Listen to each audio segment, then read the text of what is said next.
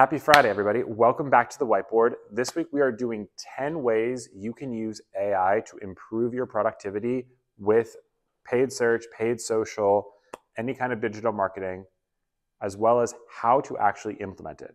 And we're going to do it all in hopefully 10 minutes. So let's jump right in. First, let's talk use cases, then how to make those actually work for you.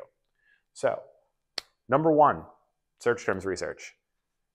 Using ChatGPT or Gemini, you can very easily add in an audience, the brand that you have, include the URL, and watch as ChatGPT pulls series of likely queries, categorizes them, organizes them into ad groups.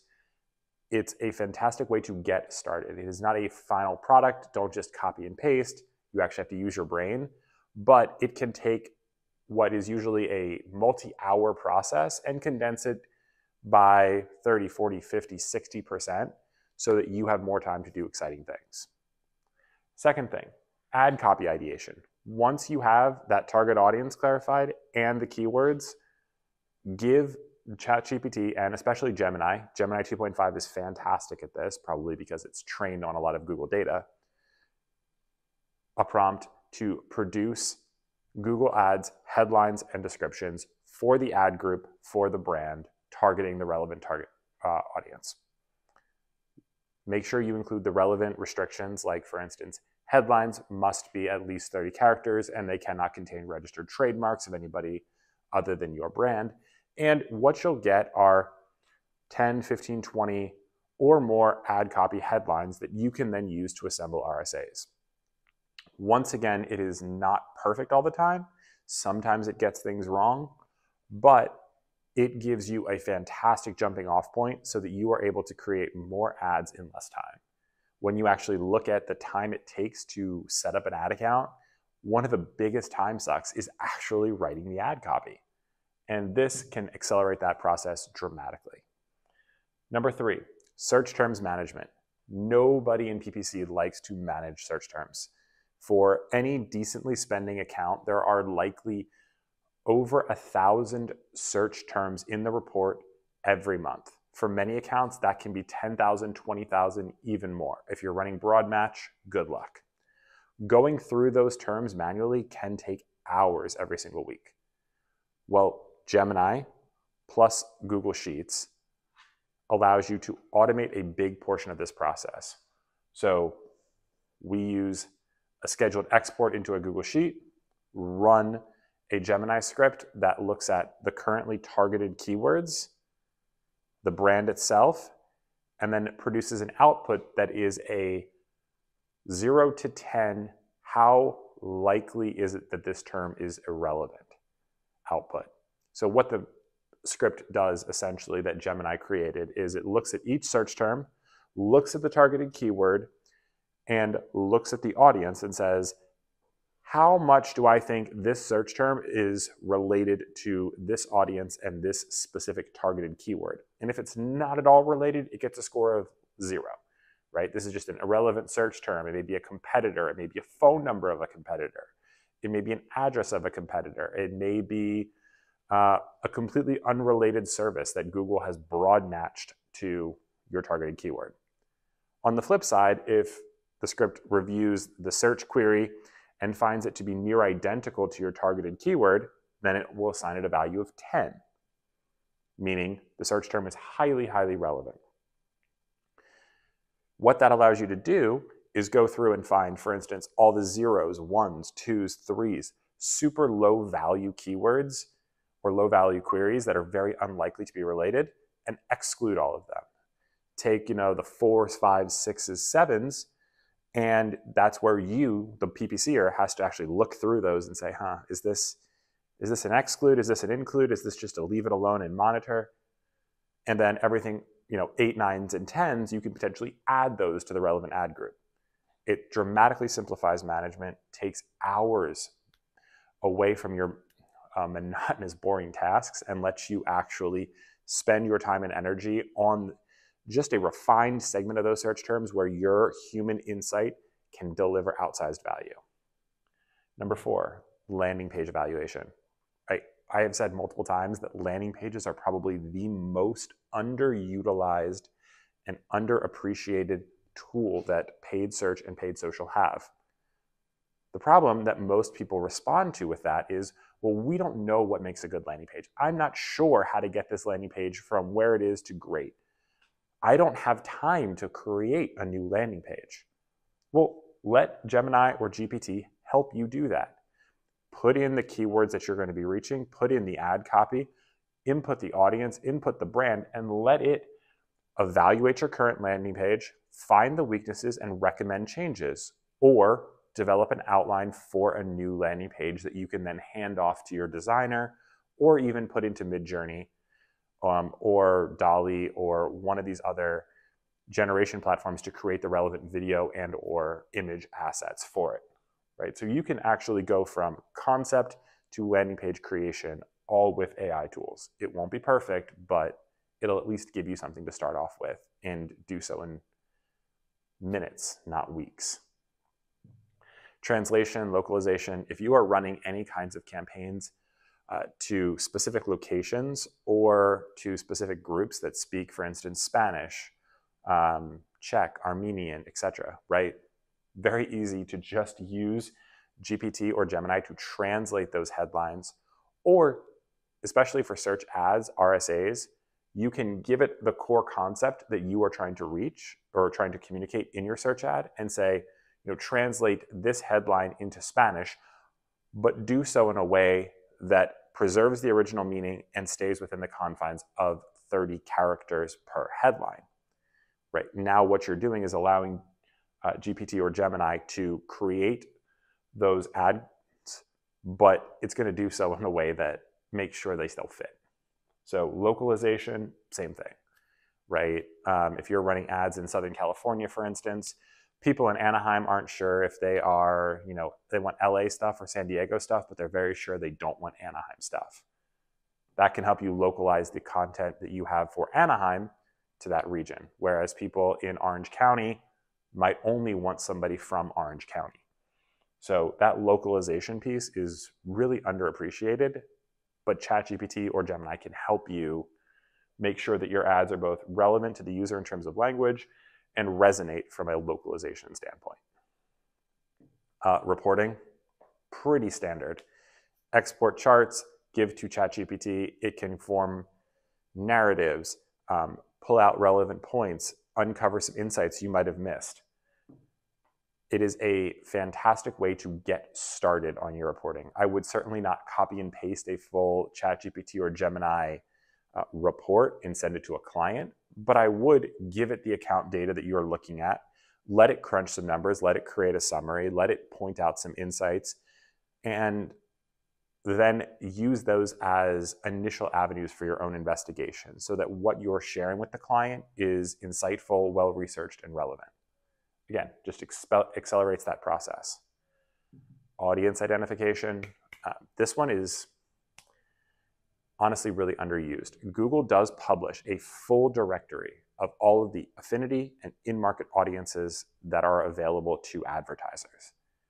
It is available online. We can even uh, link to that directory or that taxonomy, you can give that taxonomy to Gemini or GPT and say, hey, this is my brand that I'm targeting.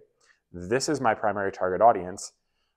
Based on your knowledge of those two things, tell me which of these 5,000, 7,000, however many there are right now, Google in market and affinity audiences, which ones are likely to over index with my target audience? where should I be targeting my money for search, display, video? It's a really easy way to avoid having to sift through thousands and thousands of audience segments or simply not surfacing the relevant ones because you didn't even know they existed. It's really difficult to remember 7,000 audience segments that are available or 5,000 audience segments that are available in Google. So allowing GPT or Gemini to do that work for you and surface relevant ones will hopefully help you get the most out of Google and reach some audience segments that might not appear in search because candidly, Google tends to serve the big ones because that's what gives them the most impression volume.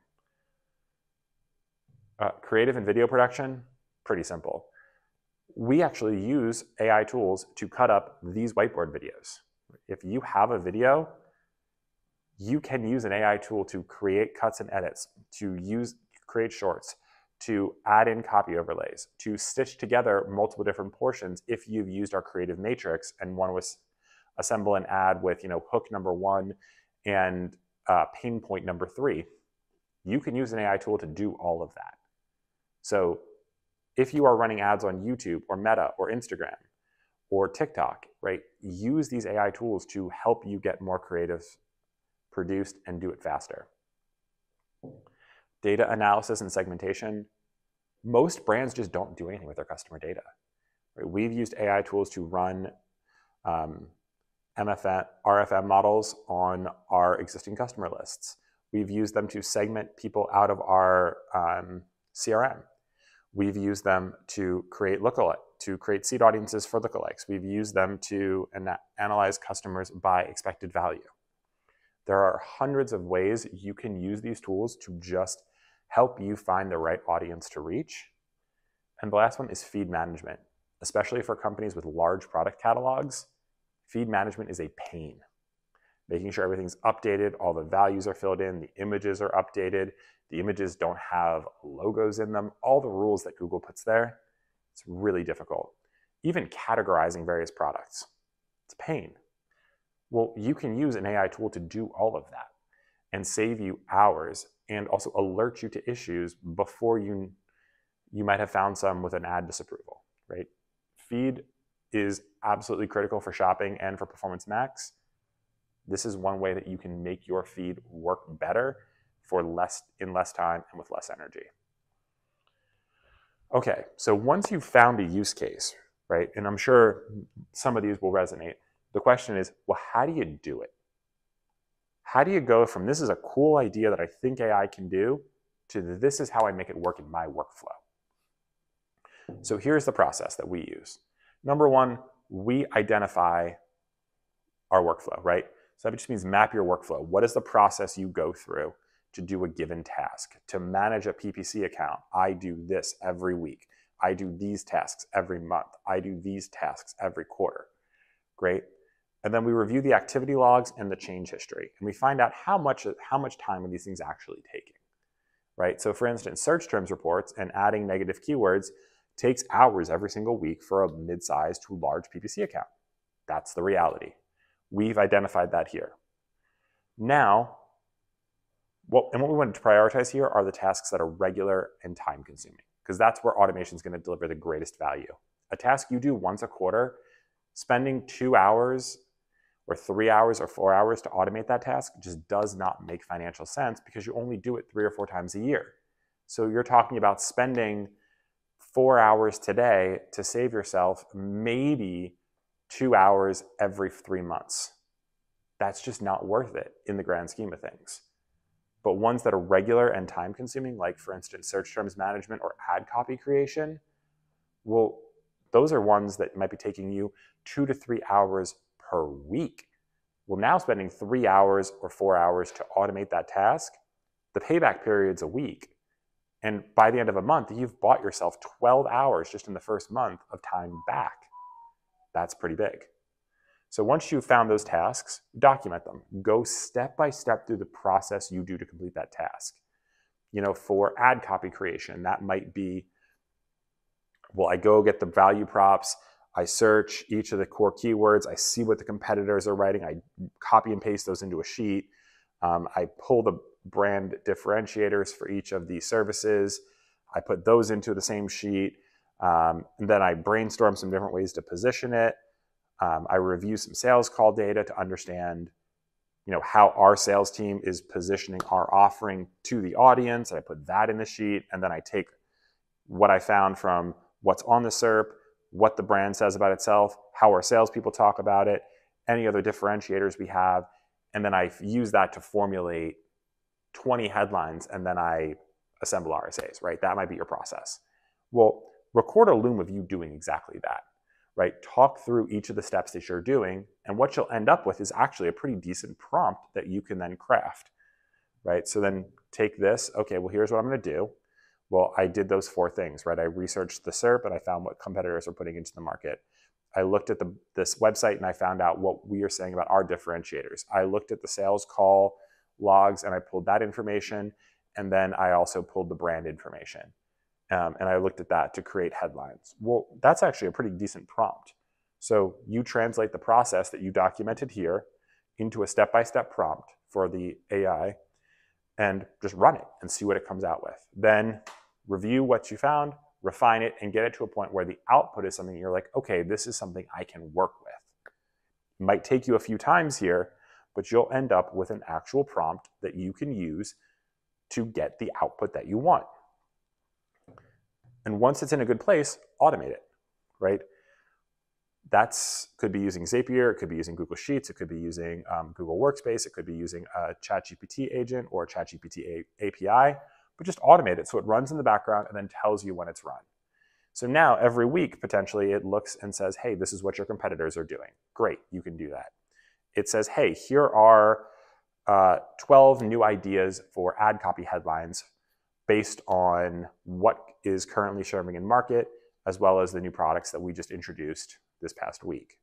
Great, you get an email with those, you can look at them, say which ones you like, and then put them into the ad account. All of a sudden, you've automated this whole process and bought yourself time back. And then you just rinse and repeat this process for each of the tasks that you do. And eventually, these automations fade into the background, which is the hallmark of a good automation. Search terms reports are just reviewed and you start to see the exclusions and you can just review that list of exclusions that was published into the account and make sure it didn't make a mistake. You see the new ad, search ad copy.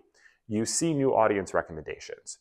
And you're just like, oh, okay, great. This is fantastic. It's handling some of these tasks, so I have more time to do higher value strategic work. That's the whole goal of using AI in marketing, is to unlock more productivity and allow you, the smart marketer, to do more smart marketing and less boring routine stuff. So I hope this video is helpful. Hope it gives you some ideas for how AI can help make your workflows more efficient and can get you more time back. Talk to you next week.